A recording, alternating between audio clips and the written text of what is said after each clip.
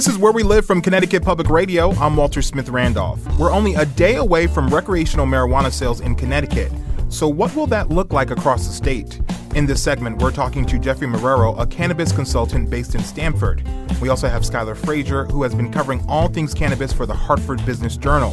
And you'll hear from Benjamin Zachs, the Chief Operating Officer of Fine Fettle, which has dispensaries in Connecticut and Massachusetts. Let's start with Skyler. Good morning, Skyler. Morning. Thanks for having me. Of course. Recreational cannabis st- sales start tomorrow. So, what is that going to look like? Yeah, so we have nine dispensaries that have been approved to begin hybrid sales beginning tomorrow on January 10th. So, nine are going to be allowed to start serving both medical customers that they've been doing and then the adult use recreational market that's now launching. Um, now, that doesn't mean that all nine are going to be open tomorrow. Um, you know, a few could maybe delay that opening based on however they feel internally. But yeah, there's going to be nine that are authorized to begin sales to the adult use market for everyone in the state that's you know above 18. Okay. And what have retailers had to do to prepare for opening? So the retailers right now are all medical use. So we have 18 medical dispensaries in the state. And really what they've been doing over the past several months is converting their facilities to be able to serve both the existing medical market and now the adult use market. So I know a lot of dispensaries have really just been trying to make sure that they can serve medical customers the same quality that they've been doing over the last several years, um, while also serving the adult use. You know, I, I, think a big concern with some places was, hey, we don't want to just neglect these medical customers that have been with us for so many years because adult use is now open. So really, it's ensuring that they can serve, you know, what's going to be, I imagine, a lot of customers initially, since you know there's a limited amount of facilities to go. Right, and so you mentioned the medical program. Medical program in Connecticut has been around for for a little bit. Um, how are these social equity applicants? Are they going to be able to compete with these medical facilities who have been around for a bit? Yeah, so I think on the retail end, there's a, a, a quicker pathway to opening on the retail end. So, you know, I've already talked to some social equity applicants that are hoping that are hoping to open this first quarter of 2023. So, you know, the head start on the retail end isn't necessarily as huge, um, I would say, because you know companies have really been preparing this over the last year. So, as long as they can, you know, figure out their supply chain and figure out what the facility is going to look like, we're going to start seeing social equity applicants come online. Um, I would imagine over the next few months. So retail side, I think um, you know they're not the first to the table, but they'll they'll be pretty close behind. Okay, and let's talk a little bit about the lottery. How did that unfold? Uh, what went wrong? Um, how do you think it might change in the future? Yeah, so uh, the state announced back in the end of December that you know lottery round one is completely done, which means that all 56 companies selected in that round of lottery um, are moving on towards the provisional licensing process. So, um, yeah, the state completed it in 2022, which I know that was a goal. Um, you ask about criticisms. I think one of the things we've heard both from you know members of the social equity council and stakeholders in the state is just um, the unlimited number of applications that entities could submit in the lottery. Um, I know some people didn't feel great about that, about the prospects of you know companies being able to essentially pump thousands of dollars into the lottery and, and get a thing and, and get a license. So um, that's one of the criticisms I've heard a lot. And, you know, we'll have to just see because um, it's all tied to the legislature. So, so the council and members of the public can advocate for changes as you know only to a certain step before changes need to actually come via the law. So i think that's going to be one thing that maybe they look at for the next lottery round. I, I don't know what way that'll swing but just things that i've heard internally um, that that's one that i imagine there might be some discussion about next year or this year i should say. And let's talk a little bit more about this lottery. So from my understanding and correct me if i'm wrong so you could apply but you could apply as many times as you wanted as long as you had the money to apply is that right yeah, so there was uh, applicant fees for certain licensing types. Um, I think it might have been five hundred dollars for retail businesses, um, and you could enter as many times. You just have to pay every single time. So a lot of that was um, a lot of that was kind of depended on how much money people had. You know, the, a social equity applicant, you need to come under a certain income threshold. So the idea that you'd have to maybe partner with some financial backer to submit a lot of applications. Um, that I, I, think was a concern for some. You know, there was a lot of people that submitted just one application, um, thinking that they would maybe be selected. When you look at the numbers, you know, there was, I think, more than thirty thousand uh, applic- applications submitted across all the different licensing um, models. So yeah, there was a lot of applications for not a lot of licenses this first round, and um, yes, you are accurate in, in saying that you can submit as many as you wanted as long as you have the money. That's the strategy I take with scratch offs too. So, but I don't want exactly. Yeah. so, so when is the next lottery going to be? Um, DCP has not announced a date for that yet, but we've been told that um, you know there's discussions right now about that, and I imagine we'll know within the next few months on the next lottery the initial goal, if I'm correct, was to have the second lottery, you know, at the end of the summer last year as well.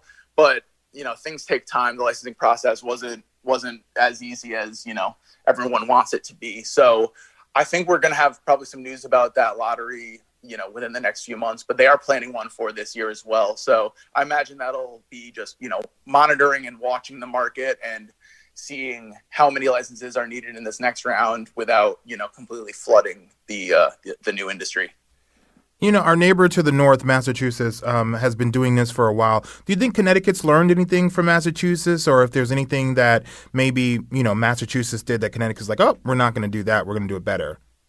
Yeah, I mean, I, I think all states have tried to have certain social equity components of the law, and I just, this is just anecdotal from what I've heard from people, you know, here in Connecticut and over in Mass, but I think Connecticut is definitely online to have the first social equity applicant um, open up a shop pretty soon after opening, which was not the case in Massachusetts. It took Mass a little bit longer to, you know, have social equity applicants up and running. So that is something that I, I think we're going to see early in Connecticut is some of these social equity applicants um, come online sooner than in other places. It definitely, while the effort's been, I would say almost everywhere that legalization has happened, it hasn't all necessarily worked out that way very quickly. So um, I think the social equity component will be interesting to watch going forward. But I don't know, just from social equity applicants that I've talked to, they seem pretty confident that they're going to come online, um, you know, early in this first year of sales, which would be pretty different from other states in our area. And what do you need to do to qualify to be a social equity applicant? Just to fall under that income level? Is that right? Yeah, so it's an income level, and then there's also other pathways. Um, there's what's called the disproportionately impacted area cultivator license, and that is um, essentially, essentially you're coming from a census tract that is in an area where um, people are arrested you know through the war on drugs more than in other areas so um, it's really location location and income are are big factors. There's also the factors if you have you know a past marijuana offense um, or cannabis offense. There are other qualifiers, but um, yeah, income and residency are really the really the two big ones I would say. And my last question on this: thirty-seven thousand app- applications. That, that's the number you said. Thirty-seven thousand. There was more than 30,000. 30, 37,000 sounds good. I haven't looked at it okay. recently, but I know there was more than 30. Yep. But how first of all, how many 37,000 applications for how many spots? And also, do we know how many applicants submitted multiple applications? Yeah, so th- those were all for the 56 spots wow. of of legalization. Yeah, so those were all for 56 and um us at the HBJ, we did a report. Um, I, I want to say it was back in September or October. It was after one of our expos where um, we got some of the data and just kind of put that out there of hey, here's what the winners, here's what the winners were, um, and here's how many they submitted. So I know the just going off the top, like one company submitted more than 2,000 licenses and they won a social equity retailer license. Mm. Another submitted, you know, there, there, was three actually that submitted more than 2,000 applications each that ended up winning social equity retailer license. So just take out those three and you have 6,000 applications between them, you know? So that's you know make of it what you will but i think that's where when people saw those numbers i think even some of the legislators were like yeah that's ne- not necessarily our intention with with the process. And did you say somebody applied 2000 times? Yeah yeah three companies did as far as i know. Yep. wow so 2000 times you said 500 i took math three times in college. So you know, I can't do the math off the top of my head, but that's that's a lot of money for something that's supposed to be social equity. Wow. Uh, absolutely, we're, we're, talking about you know hundreds of thousands of dollars for sure. Yeah. And um, part of the benefit of submitting more, especially in the social equity um, licensing process for the lottery, is all the unpicked applications in social equity lottery go into the general lottery. So if you mm. submit 2000 in that one, you could still win a general lottery too from the 1999, you know, wow. in, in, theory. So I think we'll see some changes coming soon.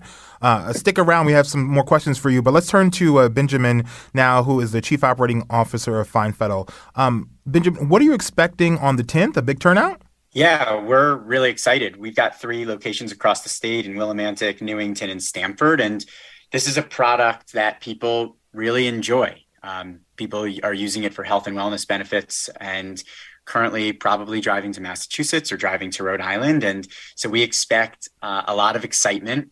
It's also a lot of change of history and destigmatization and uh, passion around a plant that has been you know demonized and vilified in a lot of ways for a hundred some odd years in our country um, and so this is more than just a retail store opening this is a this is a societal change that i think people want to see and be a part of so we do expect it to be busy but um, we've been preparing for 18 months to make it so it's as efficiently run as possible in our in our locations. Right, and I also understand that you operate in Massachusetts as well. Is that right? Correct. We operate an outdoor cultivation facility and a dispensary on the mainland of Massachusetts, and I call it the mainland because we yeah. also operate a uh, cultivation facility and a dispensary on Martha's Vineyard. Oh, okay, gotcha.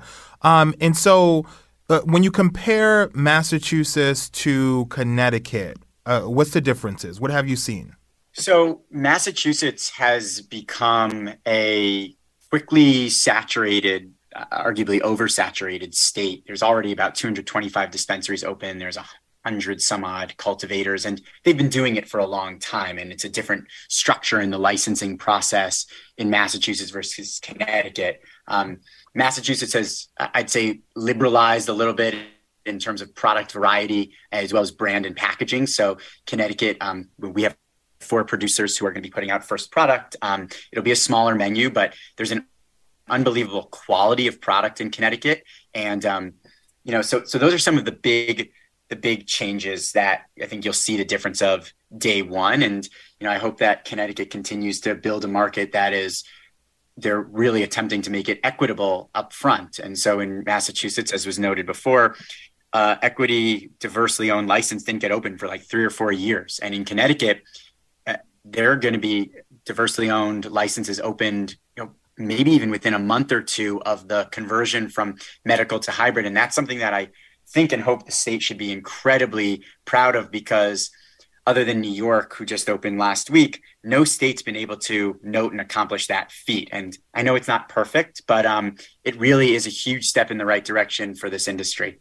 And and how much buzz do you think is building? Are, are you expecting long lines in traffic? Well, you've got me on the radio, so definitely some buzz. Um, you know, we've been we've been getting a lot of press requests. Um, you know, Fine Fettle is, I think, we have an, an outsized number of the facilities that are going to be open. From my understanding, about seven will be open on Tuesday, and we're we're three of them. So we think there's a lot of buzz. Our social media following has gone up by, I think, forty percent over the last twenty five days. Wow we're getting a lot of hits on all of our newspapers. We've spent zero advertising dollars, candidly. And I think people are excited because this industry is going to create thousands of jobs. It's going to create a ton of tax revenue. It's it's new. I think it's a long time coming, and I'm glad that the state uh, legislature has put the Department of Consumer Te- Protection in the place to be able to operate and regulate this industry and do it in a really positive way. So yeah, there's been a lot of buzz. We expect it to be busy, but we've been you know preparing for how can we handle you know thousand some odd transactions a day per location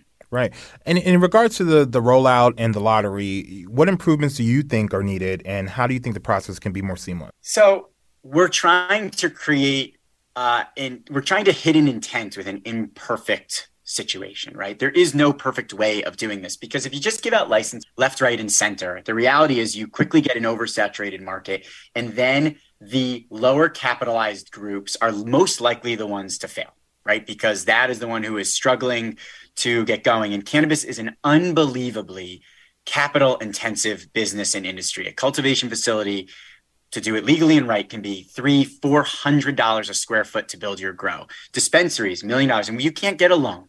This is not just available money from the bank. Um, and so I think I, I think one of the big things with the lottery would be is I would hope that there's you know a different level of um, requirements around how many applicants people can do in the social equity lottery and really reviewing those social equity applicants to ensure that there's a really good opportunity because hey if you do the math and someone puts in two thousand i'll do the math for you uh, puts in 2000 applications at 500 bucks a piece that's a hundred thousand dollars and if the income requirement is 135 thousand, I think was roughly what the number was, or 153 or something like that. Um, you know, that's a lot of someone's net worth, and that's pre-tax dollars on a on an annual revenue to get there. And so, I would hope that that is a legislative change um, that could potentially come because I want social equity applicants to have a true and you know fair opportunity. I think in the general lottery, you know the, the powerball i think is at 850 million dollars this next week and people can put in and have the opportunity for that but uh, on the social equity side i think i would love to see that and i hope the legislation does that and i hope the social equity council um, presents that to the legislature as a potential change because I think that that would be for the good of the diversity of this industry. But I think in the way that it was set up, I'm, I'm impressed with how quickly Connecticut has gotten these new licenses going. And I, I believe the lottery was done in a way that is as fair as possible. And then you learn over time and adjustments are hopefully made. And that's what government is there to do. Gotcha. And Benjamin, how long have you been in, in the industry, in the cannabis industry? Sure. So Fine Fettle applied in Connecticut in the competitive RFP in 2018. So we put in an application, I think it was April 21st, 2018. We won uh, in our Willimantic location on December 19th of 2018 night of 2018, sorry. And then we opened our first doors in June of 2020, uh, sorry, in June of 2019. So we've been operating now for three and a half years. I was in all, all, of our facilities the other day with 50 people per location. And I remember the day that we were writing our SOPs in our office um, two months before. So in three and a half years, we've you know, gone from one employee to 250 across the, the country. And um, it's pretty surreal to see what we're doing. And as a Connecticut based business, to have this opportunity to really have a large market presence in our team's home state of Connecticut and to do this at home is it's really cool. And um, it really means a lot to us. And we hope it means a lot to the state that we're from. Right. And I was going to say, did you did you ever think that this would happen where we are, you know, you're looking at New York, you're looking at Connecticut, Massachusetts, Maryland, who, you know, New Jersey, who are taking steps towards decriminalizing and towards uh, opening up dispensaries. I mean, did you did you ever think that this would be happening or happening this quickly? I think that over time, you know, societies open, and so I, I do think that I expected it. You never know and understand how long. I do, though, think the thing that we're sort of not talking about that might be the biggest deal in this entire process is the 43,000 some odd records that were just expunged last week um, through Governor Lamont as part of this, right?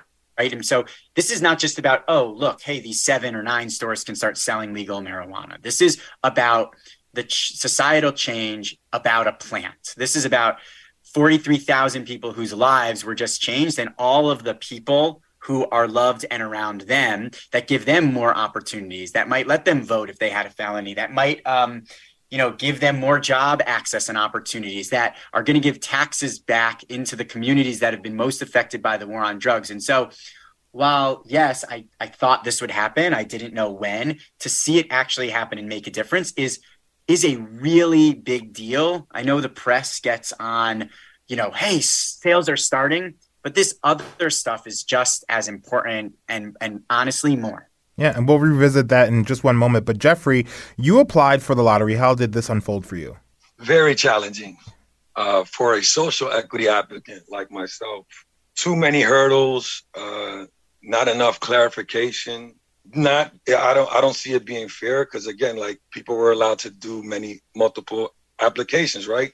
So a person like myself, like the other gentleman just said, that puts in one application for each app, you know, for each licenses have no kind of chance to it, right? even though you know I gotta I gotta take it all with, with, a grain of salt, right? I, I see the most beautiful thing that's happening.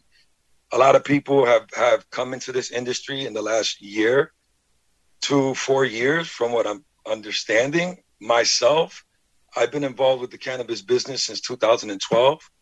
I'm a 2014 alumni from Oaksterdam University, the first and longest running cannabis university in the United States we wouldn't even be having this conversation on this radio talk show or anywhere in the country if it wasn't for the activists and the founders of my school that pushed Proposition 215 and SB 420, if we're all aware of that.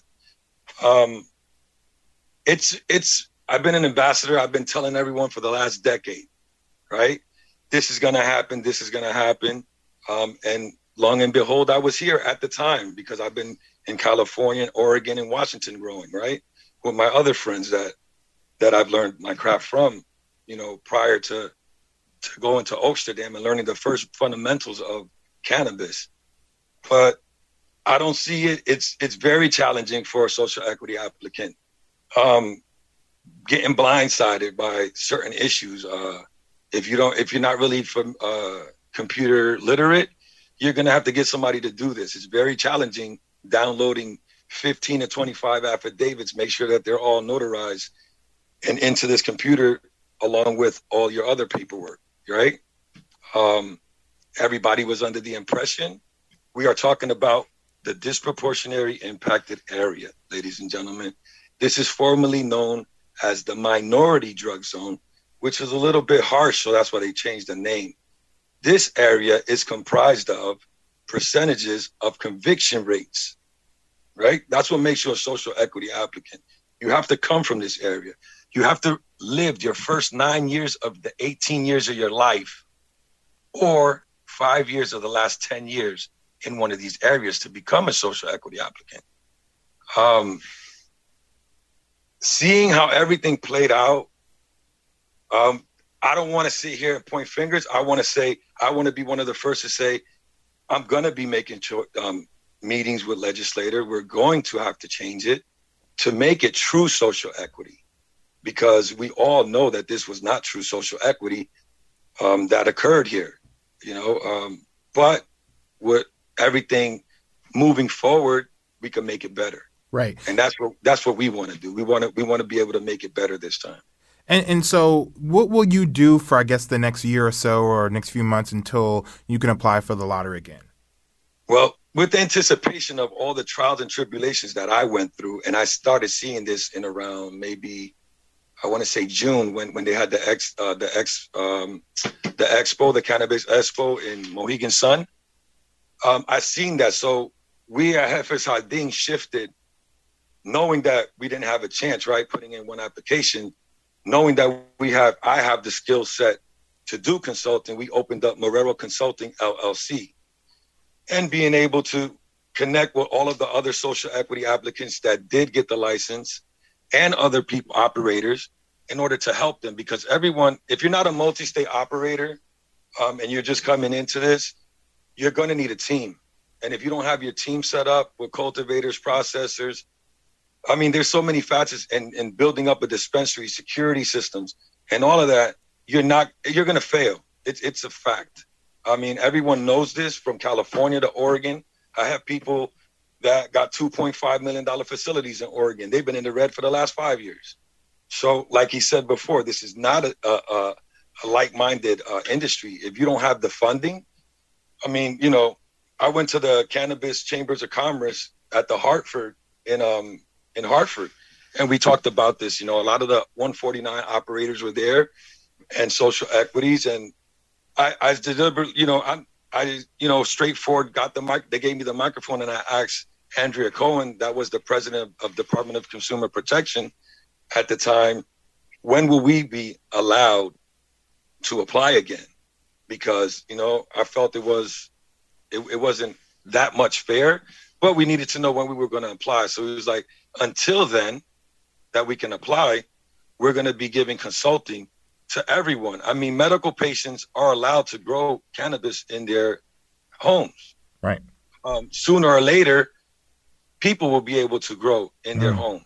and you're going to need adequate people like myself at Marrero Consulting to teach them the right way. Gotcha. I mean, there's there's a lot of things that could go left really quick, and that's what we want to offer people until we could apply again. That's yeah. what we're going to be applying ourselves to right now is okay. our consulting company and and offer those services to everyone in general. That you know, there's 50, what is it, 55, uh, 55, 60,000 medical patients registered now. Yeah, so I mean, you know, we're just going to stay focused on again a lot of people are are pointing fingers saying this was wrong that was wrong we don't want to do that we want to say what can we do to make it better this time okay. And like the gentleman said before we will we will be sitting down with our legislators and getting this you know getting this to become true social equity. Well, it's not going to be allowed to have people put thousands of applications in against of social equity.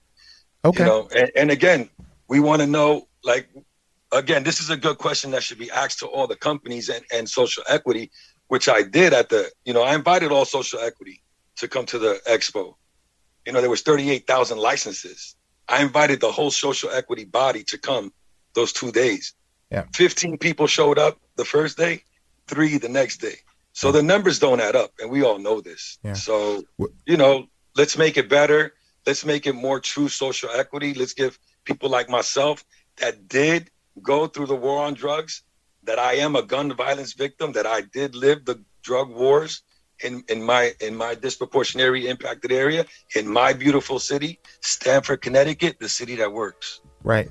Well, thank you so much to Skyler, Jeffrey, uh, and uh, and uh, Benjamin so much for your perspective. Um, we're going to head to break, uh, wrap up this segment. But again, thank you so much for your perspective. From Connecticut Public Radio, this is Where We Live. I'm Walter Smith Randolph. We'll be right back. This is Where We Live from Connecticut Public Radio. I'm Walter Smith Randolph. This hour, we're talking about recreational marijuana sales here in Connecticut. Joining us now is Commissioner Michelle Seagull from the Department of Consumer Protection. Good morning, Commissioner. Good morning. Thanks for having me on. Yeah. So, tomorrow is the big day. What are recreational sales going to look like here in Connecticut?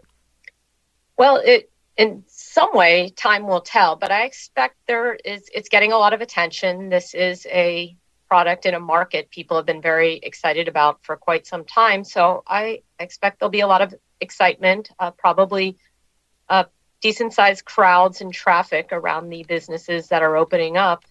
Uh, but I'm hoping for a smooth opening, and I think we have, you know, a number of businesses. They have been planning for quite some time. We certainly did not sneak this date up on any anyone. So the towns, the businesses, they've all had time to prepare and for the potential traffic, the lines, uh, the large number of customers coming in. And so I think our businesses have been hiring up and others are getting ready for this opening day.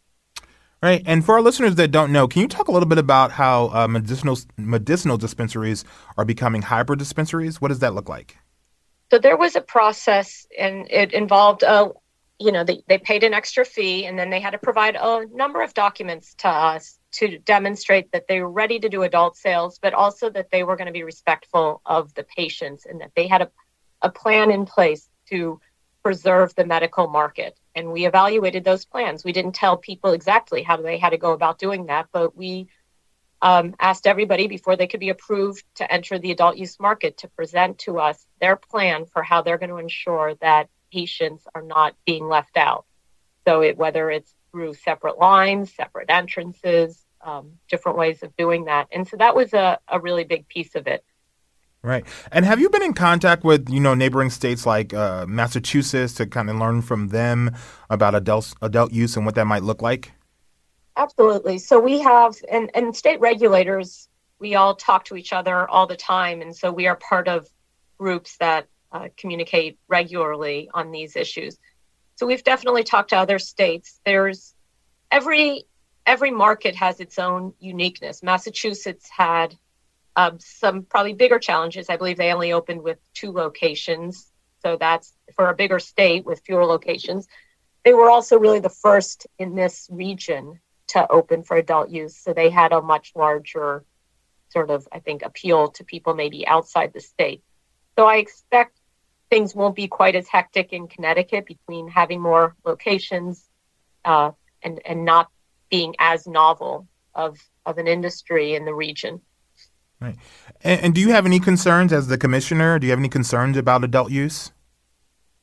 Well, it's certainly something, and we regulate a lot of markets. It's meant for adults. And so we expect our businesses to be responsible and we expect consumers to be responsible. So you always have that risk or concern that people won't uh, take the responsibilities um, as seriously as they, maybe they need to, and it will the product will get into the wrong hands. But we also regulate the liquor industry. We regulate the uh, we regulate gambling in the state, and so there's a lot of it's a tough balance, and policymakers have to make as to how much you want to allow adults who are 21 and over to participate in certain activities, recognizing that um, it's not a great marketplace and it's one that's not appropriate for people who are younger.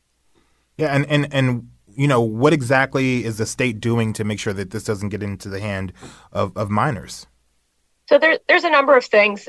You know, one of the things that we've really required, and so of our businesses, is that they need to um, put these products. It needs to be in child-proof packaging, so similar to you know other medications you get, and that's what we had in our medical market, and have carried over to the adult use market. The packaging, we've had some strict requirements. What we don't want where you sometimes get into the issues with inadvertent use by really young kids. We don't want these products to look like uh, foods that are not containing THC. So the packaging has to be uh, fairly plain. It has to clearly indicate that it's a THC product. Also, the products themselves. So, you know, there's been controversy about things like uh, gummy bears or these candies in other states. And so we're not allowing you can have the gummy material, but it can't be designed and colorful in a way where it's going to be mistaken for uh, children's food. So that's the big part of it. We've also been working with our sister agencies. So, for example, the Department of Mental Health and Addiction Services to get information out there um, to remind people hey, this is the safe way to store this product, safe way to use it. This is what you need to do to make sure it's uh, not going to be accessible to young people who may be in your house. Gotcha. Uh, you know, in our earlier segment, we heard a lot of concerns and criticism of the lottery program. Um, just your reaction to that, and do you think that we'll see any changes in the future in the lottery system? So certainly, we're we've heard that feedback as well. It it is built into the law, and I think with legislative session opening up, it, it's an opportunity for those conversations to happen. The reality is, it's it's very tricky to design a program that appropriately takes social equity concerns into consideration. I think the legislature and a lot of people were involved did a good job of putting social equity front and center in this bill, but definitely room for improvement. And I think as people saw how it played out and, and how it operated, excuse me, um, they're going to have, you know, more specific ways to offer input into that process. Right. Okay. You know, from my understanding, um, with the medical program, there was only a few people in DCP who were really assigned to oversee the program. But I understand now with adult use that there is sixty, more than sixty people. Is that right? Did I get those numbers right? Um, yeah. Ultimately, we haven't fully hired up yet, but um, it will be much um, more fully funded. So the medical program um, the agency just didn't get a lot of resources to manage that program. And we have an incredible staff in our drug control division, our legal division, who's who's really done an amazing job. I think Connecticut had a fantastic medical program, and I expect us to continue to have a fantastic one. Um, but with adult use, this is a lot more people. You know, now we're talking everybody 21 and over. There's a lot more, going to be a lot more businesses. So there's a lot of focus on the growers or cultivators and on the the retailers or dispensaries. But there's nine different license types um, for the adult use market. So there's a lot of business opportunities for people who who maybe don't want to grow the product or open a retail location. So you could, for example, maybe be a beverage, a food or beverage manufacturer. If you if you want to be a bakery and you just want to get get the cannabis and you know make make your brownies or whatever and then sell them to a retailer so there's a number of different business opportunities, but it does make it a much more complicated supply chain to regulate. And so it, it was really important, and it's good that the um, the state thought to fund this and staff us in a way where we can do that job appropriately. Right. And so everyone wants to know when will the next lottery be, and also how many spots will there be? Do you know? We're still working on that, so I don't have an announcement today to make um, as to the, the precise details. And in part, we do want to um, allow some time for some of these conversations as to whether the process can improve. Right now, if we were to open a lottery today, it would be under the rules that, I as you said, have have received some criticism. Right, gotcha. So need to change the rules and then uh, open it back up.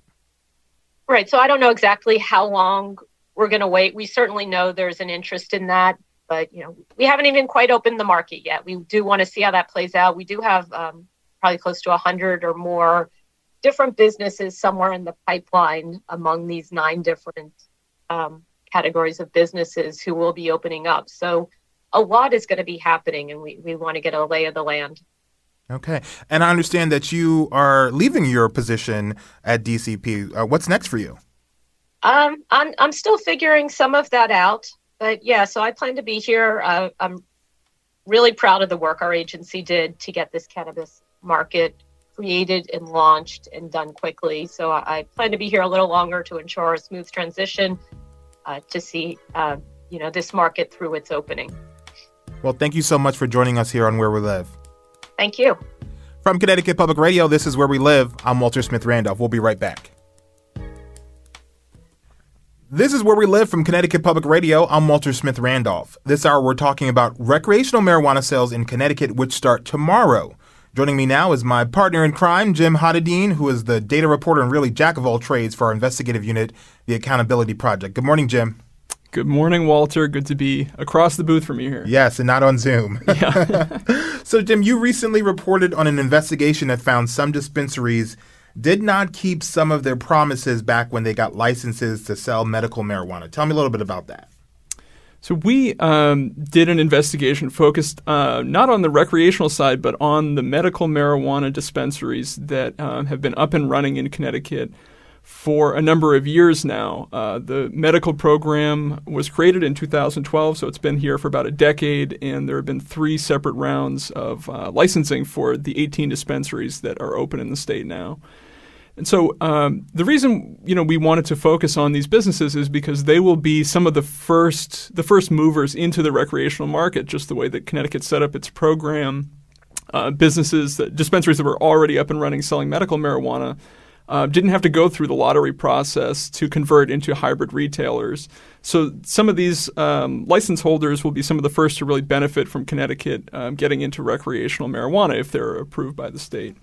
So um, we decided to look at um, some of the commitments that these businesses made previously through the licensing process to give back to the community and tried to evaluate um, the, the, degree to which they had satisfied those prior commitments. And, and what did those commitments look like? So medical marijuana um, doesn't uh, deliver some of the same um, tax revenue benefits to the state as the recreational program is expected to. Uh, medical marijuana is, um, you know, it's a it's a drug that people use for uh, palliative care of um, some really debilitating medical conditions, and so um, the state, instead of you know looking as, at this as a profit center, asked some of the license applicants, "How are you going to give back to the community if you get these licenses?" And again, part of the origin there is that you know legalization of medical cannabis and recreational cannabis is um, addressing uh, long-running uh, disparities in the community in terms of uh, the war on drugs, policing, and some of the communities that were harmed by um, uh, criminalization of marijuana in the past. So each dispensary, when it applied, had to fill out a section that was called the Community Benefits Plan that described their intentions to give money to charity, to you know join the local chamber of commerce, take other initiatives to kind of embed themselves in the community and be good neighbors. So some of these things were, um, you know, maybe giving money to um, AIDS Connecticut, which is a social service organization um, that provides you know a range of different um, supports for people who have an AIDS diagnosis. Um, we saw commitments to give money to the local police and fire departments, um, a range of other charities. And what happened when you called these places like the fire departments and AIDS Connecticut and said, hey, you know, this dispensary uh, said they were going to give you money? What did these folks say? Um, so we we had to kind of come up with our own framework to evaluate some of these commitments because what we discovered in the reporting process is um, it, it, doesn't look to us like the state, the Department of Consumer Protection, um, had actually gone back to these businesses or kind of tried to, on its own, verify that they had done some of the things they were going to do.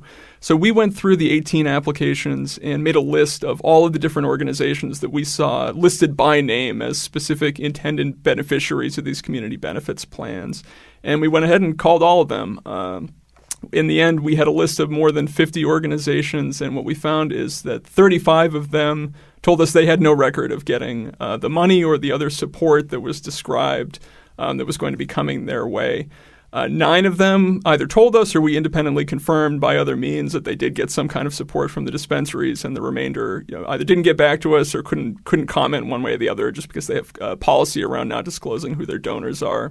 But so in general, more than half of these commitments we found no record that they had been satisfied, and in many cases, the folks we talked to um, had no idea that the names of their organizations appeared in these dispensary license applications. I'll just uh, give one example very quickly. A woman that we talked to in Waterbury, um, Anita Pettingill, is the founder of uh, the Make a Home Foundation. Her group uh, gives home furnishings, uh, beds, mm-hmm. mattresses, couches, everything you need uh, to get your home set up to people experiencing homelessness. And um, she's been doing that for a number of years with her husband. Um, you know, great program there. Uh, we talked to her. She was one of these people who said, I, I had no idea I was in line to get a donation from my foundation from a charity, um, uh, from a dispensary. And um, after we did reach out to the new owner of that dispensary that had intended to give her support, they did make a donation um, to the Make a Home Foundation. But it was something that really uh, kind of caught her blindsided. So she only got that money because you made a phone call that's I mean uh, one can uh, one can infer that that's the case. Kind of came after we started uh, asking questions about this. Gotcha. And, and, and and this is easier math for me. So you called 50 places and 35 of them had no record of getting any type of donation that they were supposed to get. Yeah, and I do. I mean, it's a little tricky here because um, you know charities don't have to disclose who their donors right. are. So this isn't the type of thing where we can consult a public database and gotcha. see where it is. But the folks who were able to research it on our behalf and look at all the different kind of names of people associated with these these companies and the companies themselves told us they couldn't find evidence um, that they had gotten these donations. I do want to say. Um, you know the the kind of level of um, uh, satisfying commitments is uh, different for different businesses. And I want to mention in particular, um, I know Benjamin Zachs, who you were just speaking with from yep. Fine Fettle. Um, I've had a few conversations with him, and I know he is very proud of the work that Fine Fettle has done. Uh, fulfilling their community benefits plan, and, and he feels going above and beyond the things that they had said that they were going to do when they first got up and running. Um, you know, adding some additional charities to the list based on uh, kind of the priorities of their employees in the community. Um, but one, you know, one of the issues that we saw coming up here is that uh, most of the businesses that got these dispensary licenses over the years have actually changed hands. So the folks who filled out these community benefits plans, applied to the state, and were approved for a dispensary license, in most cases are now not the people who own these dispensaries. Mm. Um, there's been a lot of consolidation in the cannabis industry nationwide and in, and in Connecticut. Uh, the medical dispensaries are now owned by generally a kind of a handful of the largest cannabis companies in uh, the country. And it's kind of an open question what became of these community benefits plans when the licenses were acquired. So uh, you have circumstances where you know one ownership group got the license, um, sold it on for potentially a significant windfall. We've seen that the mergers and acquisitions have uh, been in the range of 10 to 20 million dollars for each dispensary that was um, bought up along the way here. So you might have a group that, you know, in one case we saw a group that got a license, sold it before, uh, sold it on their opening day, so they never actually ran the dispensary themselves. That's potentially, we don't know the, the economics here, but that's potentially a profit or a windfall from that ownership group.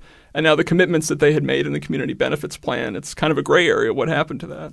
Wait a minute. So you can you can get a license open it up and then you can sell it?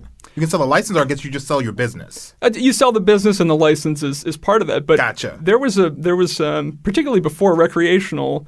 Um, over the years, there was a real premium on these medical licenses in Connecticut because Connecticut, in particular, had a very restricted licensing environment. Only 18 licenses in total granted now, and obviously more people vying for them than that. So, in Connecticut and other states like it, um, it's not uncommon for the the licenses that have been granted by the regulator to go for you know millions of dollars. Gotcha. Uh, and back to the donation. So So it seems like we have a double edged sword here because some of the dispensaries, medical dispensaries, they changed hands. Maybe some bigger companies bought them. But then also there's Department of Consumer Protection, which I understand did not want to comment on the story. They also only had two to three people overseeing the medical program. Is that right? Yeah, I think I mean um, one real big component of what we focused on in this story is who who was overseeing this industry and was there sufficient oversight for the entities that are involved.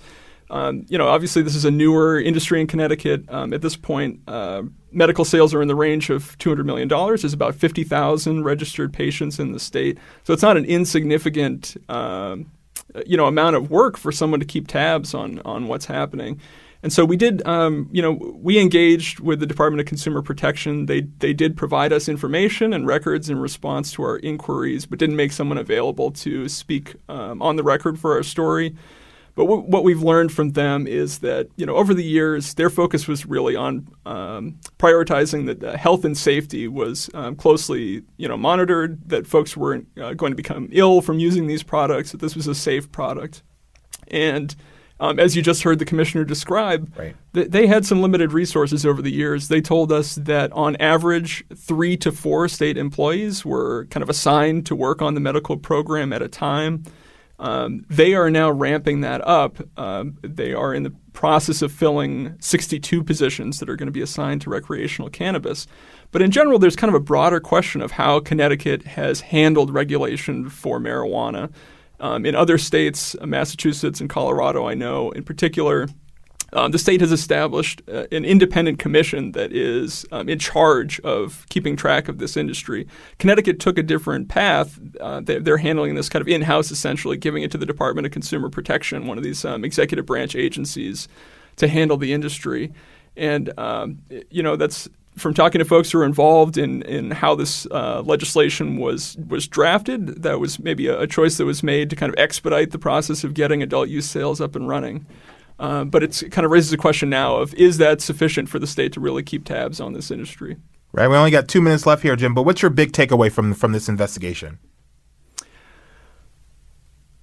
I I think the big takeaway is, you know, uh, as I was just saying, the, the industry here is one that is potentially lucrative for the businesses that are involved, and um, you know, s- states states across the country are grappling with how do we ensure that you know allowing uh, companies entry into this market is also going to benefit the communities that have been harmed uh, by uh, the war on drugs over the years.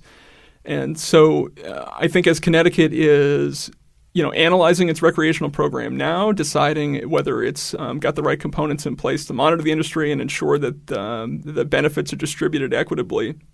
Um, this is a time to kind of look at perhaps what other states are doing, um, what mechanisms they have built built in for oversight and enforcement, and whether you know the department itself is uh, kind of prepared to be at the forefront of this um, while it rolls out.